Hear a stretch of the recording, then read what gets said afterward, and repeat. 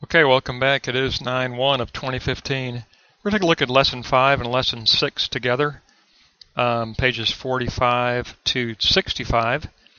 It seems like uh, we're ending up with uh, 20-page brackets on this volume, but uh, he has, has added some uh, geometric content to his structure of the soul, so we, want, we know that uh, theology is a geometric science for Aquinas. And so he has added he has added some uh, geometry, some geometric structures. We'll take a look at that. He has added transcendence and the act of understanding. So we do have some some excellent content in these 20 pages, and it helps refine his position. But we will begin with the soul, the sentient soul, which is the imagination where the sensations are received and then converted to psychical phantasms. And then they're going to be transferred out of the uh, imagination into the intellect, where phantasm will be uh, transformed into generalization. But in the imagination, they are formed as a lexical group of phantasms, kind of a collective whole, but not refined in any uh, intelligible way, but simply refined in a very general way of holding them as a collective of uh, phantasm entities.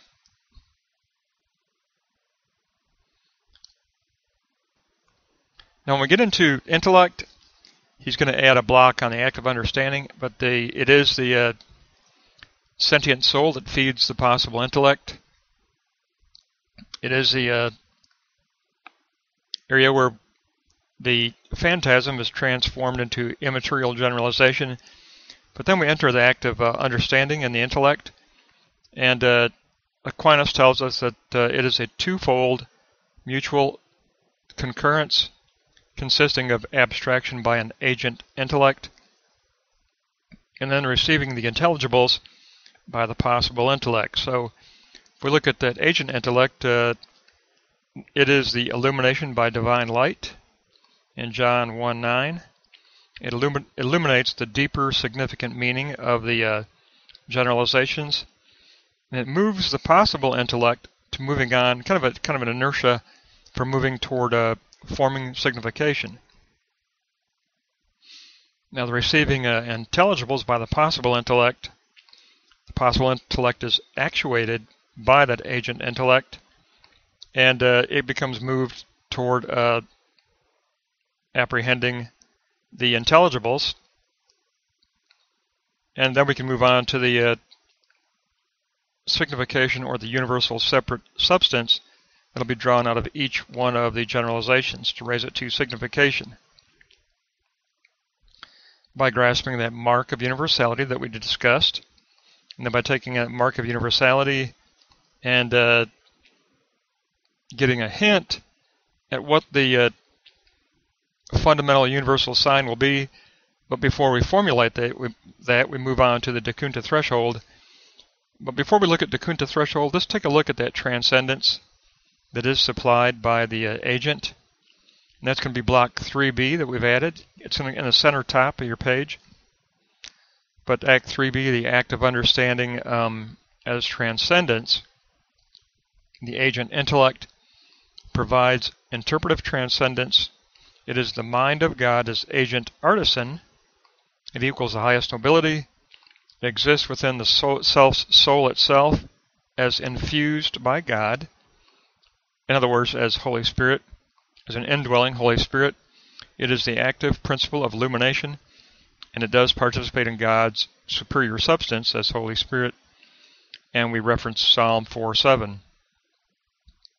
And Aquinas says that it illuminates through first principles and that includes uh, faith and scripture and of course prophecy.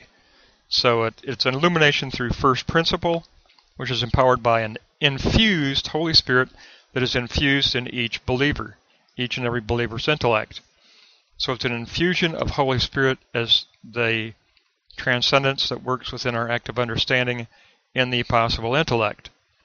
Then we can move on to the de Kunta threshold, so at the Dakunta threshold, now we understand that we're gathered at the Dakunta threshold in a fellowship of a community of other believers who also are indwelt by transcendent spirit, who also want to share their supposed truth, their supposed grasping of the uh, intelligibles as individuated entities and as overall event.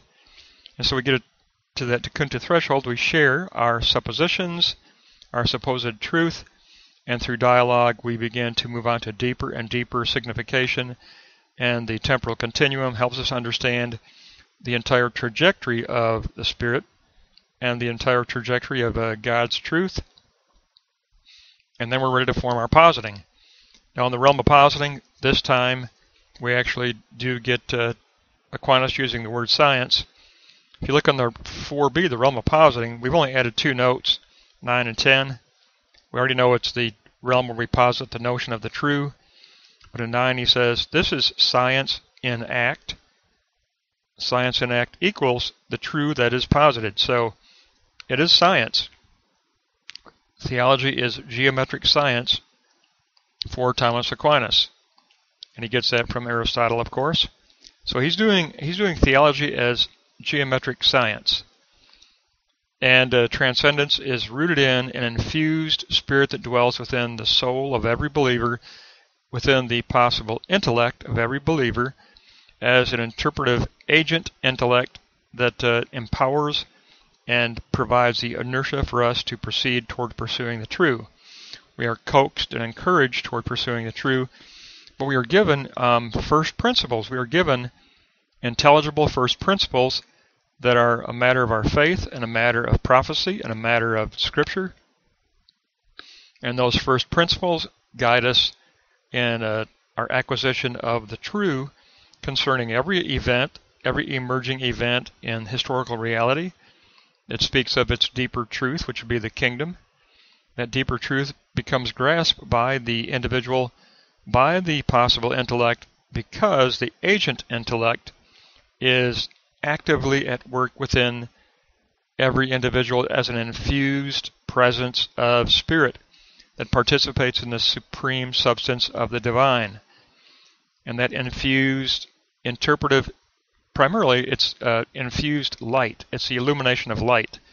But that divine light gives us the uh, interpretive power to grasp the true, the deeper truth, and the deeper signification of every event and every individuated, individuated entity within an event so that we can uh, go to the Tikkun threshold of dialogue within community and together with others engage in a dialogue that uh, can grasp a deeper and deeper significance for that which we are trying to analyze, and uh, to apprehend a better notion of the true, and a better get a better idea of how we want to individualize that notion of the true and posit it in the realm of positing as an action we want to, to move forward with as a true action out of our faith. So primarily, what he's done here, he's added uh, two very fundamental areas. He let us he has let us know now by age by page 65 that the possible intellect of the soul is a twofold act of understanding. It is a, an act of understanding that includes agent and possibility. Agent and possibility. That possibility exists as a latency within each individual, each individual's intellect, but that latency of possibility can become actualized if we will respond to the infusion of spirit, the infusion of the agent intellect, which participates in the divine substance of the eternal as the supreme nobility, if we respond to and participate in that infused agent intellect of spirit, then possibility of intellect can become actuality of intellect. We can apprehend the true events in history can be open to us with their deeper significance, their deeper sig- significance for kingdom of God, the deeper significance for the divinity and the intentionality that God intends within reality.